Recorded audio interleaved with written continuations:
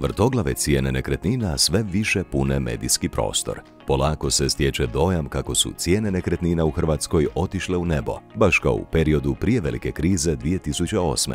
No, je li tome tako? 2006. i 2007. se sve prodavalo, doista se sve prodavalo, no međutim ovdje se vidi razlika da se vidi da, da, da, da se ne stvara balon na takav način, zato što ne dobivaju sve nekretnine visoke cijene. Znači, postoje nekretnine koje se skoro i ne mogu prodati, postoje nekretnine koje idu po niskim cijenama i postoje nekretnine koje su skupe. Važno je istaknuti da se radi o hiperluksuznim novogradnjama koje postižu cijene iznad, na primjer, 3,5 tisuće eura po kvadratu i više. I takav broj nekretnina je izuzetno mali. Kad je u pitanju traženo i dobiveno, nesrazmjer realiziranih i traženih vrijednosti sve je veći. Realizirana cijena je bitno niže, vi kad gledate nešto u prosječeno, vi ćete vidjeti da su te cijene još uvijek u prosjeku i ako gledamo i more i Hrvatsku ispod 2000 euro po kvadratu, znači prosječna realizirana cijena.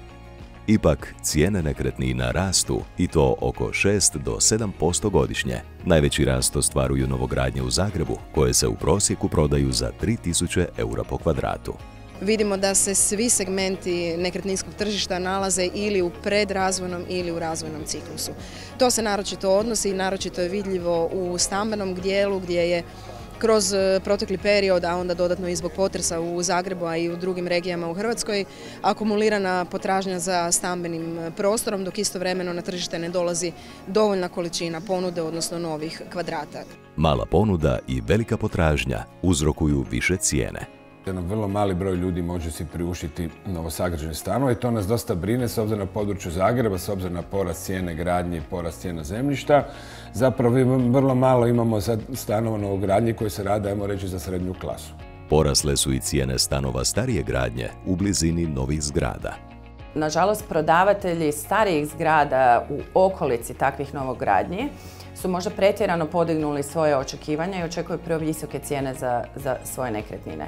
Ono što vidimo je da se takve nekretnine ne prodaju. Stručnjaci ističu kako broj transakcija nekretninama u Hrvatskoj pada već treću godinu zaredom, te kako je za aktivaciju nekretninskog tržišta potreban realni pristup i cijenama i tržištu, jer u Hrvatskoj kupci proteklih deset godina traže isto. Prosječan kupac u Hrvatskoj traži dvosoban ili trosoban stan od 45 do 80 kvadrata, maksimalne cijene od 100 do 150 tisuća e, eura. Nažalost, takvih nekretnina po toj cijeni je trenutno na tržištu malo. Kronično nedostaje u Hrvatskoj većih projekata po barem prosječnim cijenama ili ispod prosječnim u novogradnji koja je trenutno vrlo tražena, e, ne samo zato što je to kvalitetniji proizvod od starijeg stane, nego i radi potresa koji je stanovništvo jako senzibilizirao na E, na primarno e, statičku, statičke karakteristike nekretnine.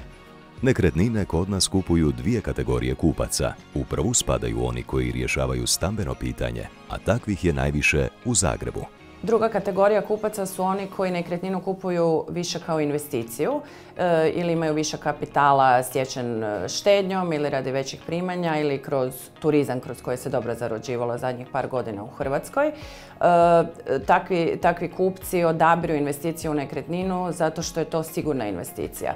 A također u doba vrlo niskih kamata na štednju i niskih kamatnih stopa i na kredite pokazuju se kao investicija sa najvećim povratom. Nekretnine su u zadnje vrijeme globalno vrlo tražena roba i relativno sigurna investicija, što se odrazilo i na Hrvatsku. Valja napomenuti kako je promet nekretninama i do 10 puta veći u Zagrebu i županijama uz obalu nego u ostatku Hrvatske. Stručnjaci ističu kako je cijena starogradnje postigla svoj maksimum, a u novogradnji cijene bi mogle rasti, ovisno o regiji, lokaciji, projektu i kvaliteti gradnje. Koliko točno, ostaje nam za vidjeti.